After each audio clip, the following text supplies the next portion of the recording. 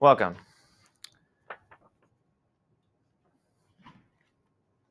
Most, if not all of you, probably have a favorite animal. And some most most of those most of those animals you've probably seen inside of a zoo. How do you feel about those animals inside a zoo? Today, I'll be going over what whether zoos are good for whether zoos are bad for animals or do we make them bad? How zoos can help save animals from extinction and how zoos can how how we can learn more about animals from inside the zoos. In some places, zoos keep animals in bad conditions, so they don't so animals have barely any room to be, even turn around. But there are many other places that allow them to have that big open space.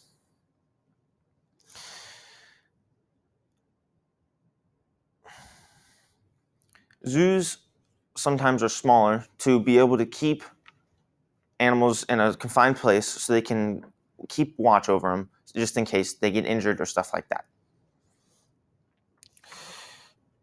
And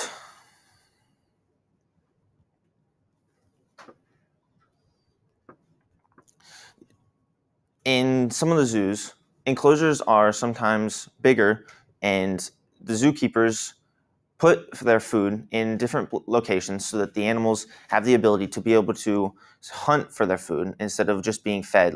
And so they can somewhat keep their wild instincts. And while animals are in the zoos it can also uh, we can teach them new behaviors that they would probably never be able to use out in the wild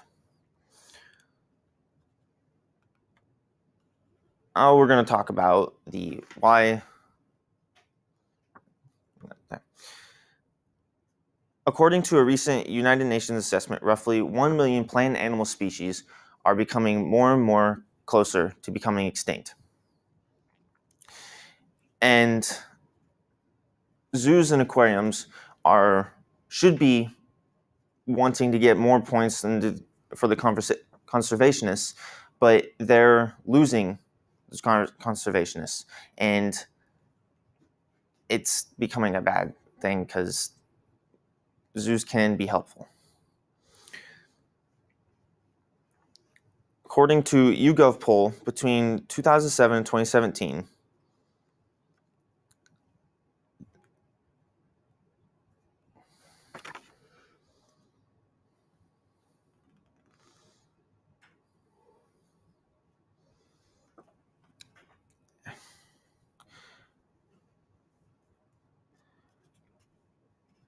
a child born today that would grow up to be around 80 would see about ha- over half the species alive today become extinct.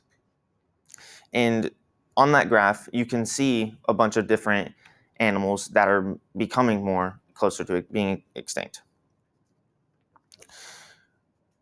Now we're going to talk about the how zoos can help us learn more about species. Zoos use something called stud books, which are handwritten documents that tell us more about species that are in the zoos.